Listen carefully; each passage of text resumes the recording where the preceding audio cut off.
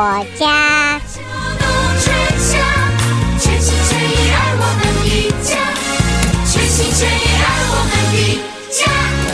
朋友们，大家好，欢迎收听德州中文台。我们在今天带给大家的《我爱我家》，我是胡美健。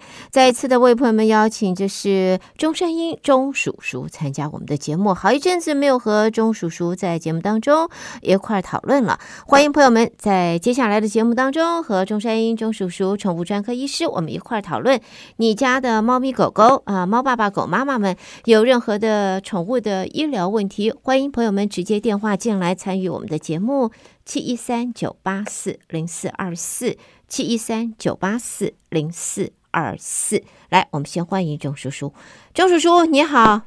啊，胡美健早，呃，各位德州中文台的听众朋友，大家早。早，欢迎钟医师再度的参与今天的节目啊！哎，想问一下钟医师啊，在近来，因为我们有几位听众导师提到的，他想问的就是，在现在他去呃打针的时候，医生会问他，哎，我们现在有这个 heartworm 或者是 flea 的药，但是是 generic，不是 brand name。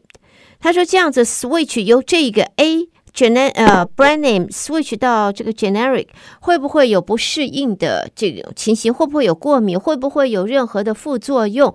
想问一下中医师这一方面可不可以提一些你分析一下？是，OK，呃因为 generic 呃 generic 跟那个 name brand 哈，其实它的成分是一样的，只是它的啊所谓的 pattern，就是专利期限已经过了，嗯所以过了十几年以后啊，专利十几年以后，其他的公司就可以依照它的成分啊还有配方来做那个药。所以如果你要 switch 到别的，就说不是 name brand switch 嗯。到 generic 的药的话，应该不是有什么问题的。啊，就是啊。药药的效用，它的成分是应该是一样的，，OK，但是啊、有时候这个 original 就是 name brand，它做就是写那个 patent 写那个专利的时候，嗯。朋友留一手啊、也不一定呃法法律上是规定不可以这样，嗯是。所以我们说有时候也会也会发现是有一点点差别，但是应该不会说造成过敏啊、switch 到另外一一就是另外一种药，或者是从从 name brand 到 generic 啊、应该是不会造成什么过敏反应，因为你以前没有过敏反应，就应该不会，因为它的成分是应该一样。OK，所以这一个应该来讲不会有过敏的情形。对好，所以这一个呢，先谢谢中医师的分析啊。但是如果会有，通常来讲会是什么样的过敏情形？嗯过敏就是一怎么样？请第一个，如果用滴的话，就是滴剂滴在呃毛发上的，可能对滴的地方会红肿啊，嗯啊对皮肤的过敏这样。那如果真的啊，狗狗或猫咪对那个药有过敏的话，可能会造成全身性的啊，像发烧啊、呕吐啊这些是。拉肚子会不会？拉肚子也有可能，每其实每一只狗、每一只猫表现出来的症状都不一样，但是有些有给那个 tick 蜱丝的那种药，嗯有些有些是专门只有给狗用的，啊你不能，用在猫身上。猫身上猫用在猫身上毒性是非常强的，所以你用的时候，他一定会告诉你不能用在猫身上。那个狗的药你就不要用在猫身上。也家里有狗跟猫，你滴的时候，make sure 你没有拿错，这个最重要。哦。OK，好，所以这个是非常重要的。我们先在这提醒我们的听众朋友啊。那么在这的话，第一个，我们就是听众朋友提出来的这个关于这现在有呃，就是呃，不是 brand name 比较便宜，他说可以便宜快一半的这个价钱，所以对于宠物的主人来讲，这不定是一个很吸引人的一个新的产品，但是呢，在使用的时候还是要提醒我们的朋友们稍微注意一下。好，这是我们听众提出来的问题。那么下边的话，我就想请钟医师先看一下，在现在我们已经到了五月中了，温度在下个礼拜，其实这个礼拜就已经在九字头以上，今天大概就九十一、九十二度了，下个礼拜会可能更高。那么下边的话，狗狗身上或猫咪还好，我们先从狗狗来讲，它们身上的这一些。呃，我们这小虫虫吧，不管是跳蚤或者是这个 tick，是否在夏天的时候，我们就算点了药，它还是有可能会到它们身上。我们点药的吃药或者点药的这个时间可不可以缩短？OK，是这样子哈。呃，最近那个跳蚤的 case 越来越多。对，呀啊，OK，是是这样子，看哪一种药。有些像有些低的药，它有时候可能会告诉你，你二十八天、四个礼拜、一个月要滴一次的。那如果说是啊啊身那个狗狗或猫咪身上有很多跳蚤的话，嗯，尤其是你第一次滴的时候，OK，第一次滴的时候啊，它不可能百分之百，又不是 DDT 以前旧的那个 DDT，那它它可能百分之九十五啊，这样这样想好了。如果有一百只跳蚤在身体里面，在身体上面，那你它九十五 percent、九十六 percent 有效，它可以杀死九十六只。你可能现在四只，那些四只那四只可能很虚弱了，但是这个月点的药没有把它杀死。那下个月再点的时候，啊，就是呃 make sure 它全部会被杀掉这样。所以你第一，尤其是第一次点，你很多跳蚤，你第一次用那个药的时候，啊。在一个月之内，你可能还会看到，就是当然会 dramatic，就是会减少减少非常多啊，可能可能会只有看到一两只这样。那那个是并不是说那个药没有效，那就是药的呃它的效率就只能只能到不能到百没有办法到百分之百，所以那下个月再点的时候啊，应该就通通会杀掉。但是呢，它的跳蚤的那个。Life cycle 就是生活史，它只有百分之五是成虫，其他都是其他的卵呢幼虫。如果你在身上找到五只跳蚤的话，就表示在你的环境里面可能有卵啊，有幼虫啊，有一大票在那儿。时时机到的时候，另外九十五个就会上来。所以，OK，所以有时候是你点了把身身上的杀死了，可是从环境跳上来的，那你你会觉得那个药没有用。我现在讲这个药是。兽医师给你的药不是不是你在店里买的，因为店里买的太多种了，有些呃一点效都没有，呃有些毒性很大，所以你用药的时候小心。所以另外一个就是说，你点药的时候一定要给他三到六个月。什么意思？请请请你讲一下。打破打破的那个 life cycle，打破的生活史。比如你这这是点了身上的杀死了，可是一个月之后。你环境上呼出来了，又跳上来，你再点一次，那三到六个月点了三次到六次以后，你的环境应该是干净的，这样。不要说点了一次你就 expect 啊百分之百清楚了，是不行的，这样呀。OK，所以就是说得要不停的在这里持续下去，点点它六个月。呀，三到六个月，这样你的 depends on 它你。那个 跳蚤有多少？越多，你就是持续要越久这样。但是如果说你家里环境有很多野猫啊或松鼠，常常在你后院，那个它会持续带来那个跳蚤啊、虫卵啊或什么啊，那个跳蚤、成虫啊。如果持续这样的话，那你可能就是要一年到头都要点这样。嗯，OK。OK，好，那么这个药的话，嗯，还有听众在问的是说，有人说这说这个呃药物对狗狗的肾脏或或者对它的他们会造成过敏，会不好。那么他就想问，有没有现在医师开的药？不，它不是 over counter，它是兽医师开药的话，他说有没有在这一方面，在开药以前，呃，医师会。会会做一些检测，这个药会不会对他的或者他的狗会比较敏感，会造成这种内脏方面、器官方面的一些冲击？OK，是这样子。我们开药的时候，通常都不会不会检查这个。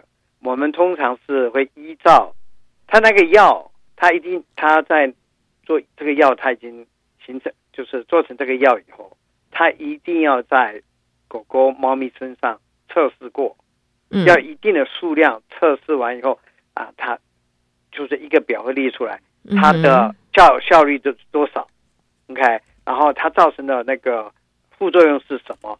吐啊、拉肚子啊，然后发烧啊，会啊 shivering 啊，会发抖啊，会有神经症状啊，这些东西，他一个一个都要列出来啊嗯。不完 certain 就是有一定数量以后，这个这个表出来以后，他要送到 FDA，送到药物管理局去审核。如果他们觉得这个毒性不大，而且效用都很好的话，他们才会给给给的 approve，然后他 approve 他才会上市的。所以他在做，不是说要做做出来就马上拿出来用的。所以基于这个理由，我们通常都不会 test，而且啊、不管什么药，嗯一定有副作用。啊，那看副作用，不管什么药都有副作用啊。对人的药也是一样，不管什么药都有副作用，但是看副作用的几率多少。那啊、一般来讲，一般一般正常运气都不错的人，不错的狗用药都没有问题。嗯那真的运气不好，就碰到了呃，有的药会造成呕吐或者拉肚子啊，百分之二、百分之三的，一百只里面可能有两到三只会这样，有时候会 seizure，零点几 percent 会有 seizure，会有那个癫痫发生这样。那哦，九十九的狗都不会，那有时候运气不好的时候，你的狗就会，那那就是百分之百，对你来说是百分之百这样。所以不管什么药，不管什么 over the counter 的药、prescription 的药、prescription 的药都有副作用，只是 percentage 很少，是这样。OK，所以这些多多少都是会有这个副作用在里面。是，但是不一定发生在每一只狗或每一只猫的身上。嗯，好，所以那这样子的话，我们就提醒我们的听众朋友就，呃，几率不是说完全没有，但是并不高，不需要不需要过于就是紧张就是了。我们这样子讲应该是可以，你不需要过于紧张，不是说完全没有，只是说呢几率并不高啊。对，要在自自己用完药以后要啊、好好的观察的，一有什么啊、吐啊或什么，马上要跟你的兽医师啊、联络。所以说，over the counter 药也会有副作用，可是你你用 over the counter 的药用了以后，你嗯无处去去申诉啊，你这上面有 A hundred number，你打去，他们什么都不知道。那你从你兽医师那那个药，他们有一定的管道，嗯有嗯一定的管道接受这个，他一定，even 他送 FDA 已经 approve 过了，他送出来外面做完啊，就是已经已经 approve 送到外面用的时候，如果还有什么事情发生，他一定还要向 FDA 报告的，OK，呀。所以啊，还是从您兽医师那里拿的药，虽然贵贵一些，但嗯是保障是比较好的。好。好的，谢谢钟医师在这边的分析啊。那么下边的话，我们就要请钟医师来谈一下，因为现在的话，我们呃，我们也跟这个在 SPCA 啊，这是休斯顿的我们说流浪动物之家政府的收容所里边也特别负责人呢，呃，这个 Corey 也特别谈到，就说现在在收容所方面啊，就是呃狗口、猫口太多了。这个人口这这个暴涨，所以很多的收容所都没有办法收容。他们现在非常鼓励的就是民众能够领养，能够领养。但是我们就有几个问题。第一个呢，去领养的时候，呃，这个很难讲。有小狗狗啊、这种 puppy，大伙儿看了都喜爱，都想要。都希望能够带回家，因为太可爱了。可是带回家之后，以后长成什么样你不知道，你能不能够，能不能够就是训练好，呃，能不能够进它有没有一些潜在的问题或者会面临到的问题都不知道。但是成狗呢，不管是一岁、两岁到七八岁啊，都有这种大狗。那么在领养的时候的话，都已经定型了。差不多定型了。所以我们听众就想要请钟医师你们分析一下，如果说真的爱心勃发，我们要给宠物、流浪宠物一个一个温暖的家。那么再去领养的时候，如果是成狗，我们先不讲 puppy，我们讲这个比较大的狗，两岁以上到八九岁了，我们要注意些什么？怎么样子选择，或者是说你有一些什么特别的建议没有？啊，成狗啊，其实 puppy 也是一样，有时候真的是靠运气啊，也也不是说完全靠运气啊，就是第一第一个你观察它的它的 behavior 嗯啊，就是它是不是友善，OK，然后啊，这个最重要了。那有些我我我还有好多 case 都这样啊，他们也是出自于爱心把狗领养回来了啊嗯，刚刚回来的时候很好，几个月以后就开始会对其他的狗凶，然后会开始打架，有时候打打的血肉模糊，呃，造成很很很不可收拾的状况。有时候客人来也会咬客人，所以不管是呃医药上，不管是法律上啊、这个这个负担都是非常重的。嗯哼，所以啊、有时候真的一开始看不出来，因为狗狗刚刚在外面，它在领养的时候，有些狗狗它因为在外面嘛，已经、嗯已经流浪了很久了，也可能也换了好几个家庭，它它就觉得啊、就是我有什么东西给我，我就很好啊，所以就是就会比较友善。OK，、嗯那回到家里以后，他慢慢啊、接受这个环境，慢慢习惯这个环境以后，他有时候本性就会露出来。所以有时候真的很难讲。那另外一个啊、虽然这个不很科学，我觉得有时候是是命运的安排，是你跟他有缘，你就可能跟他在，呃就是你们俩会凑在一起，然后呃，你领养他，可能可能就跟你一辈子这样。这个这个没有什么很好的建议，只是当然你你最重要的第一个，他第一个你看到如果说一开始成果，你去看到他的时候都已经很凶了，嗯对你龇牙咧嘴的，这时候你当然你不能领养这只，然后啊看他身身体的状况啊，不然有些有些真的我有一些 client 真的非常有爱心，特别领养那些老很虚弱啊，这里有缺陷那里有缺陷，这里会跛的哎那些狗家是。去把它啊把它养成很健康的狗，这样。有些人也是这样。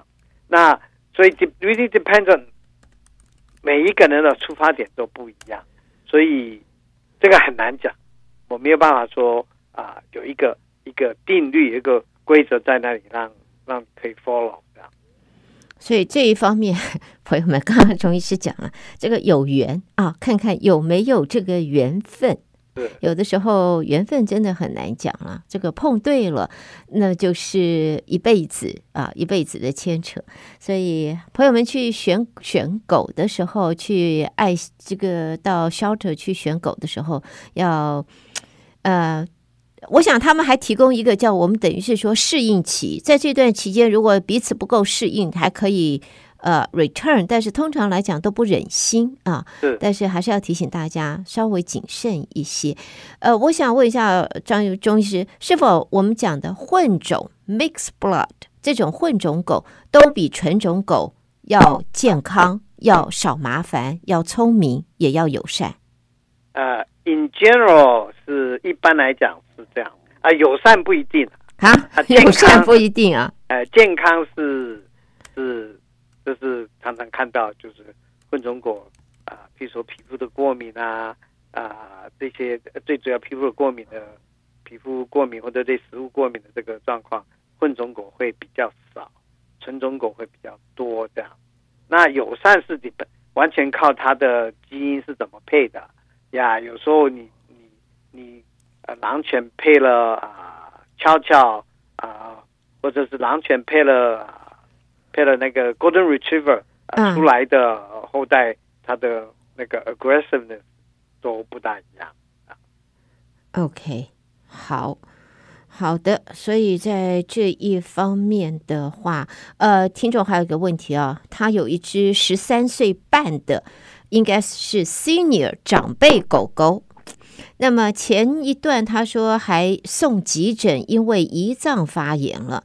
现在他是不是应该用自己这位狗妈妈？他说我是否应该自己煮饭给他吃呢？不应该给他吃狗饲料呢？我煮饭是不是更好一点？如果是我用煮的，这位狗妈妈显然她自己愿意。要希望能够为他的狗儿子能够多服务一些，他要煮什么比较好？是是这样子哈，那个自己做食物哈，当然可以自己做，但是有有很很多那种微量的元素啊啊，你是没办法加的。哎呀，所以狗饲料里面啊有加了那些该有的，比如说对心脏、对眼睛啊，如果缺那些微量元素，对心脏、对眼睛不好啊，这些东西都有加在上面。猫咪也是一样，有加一些啊呃那个元微量元素。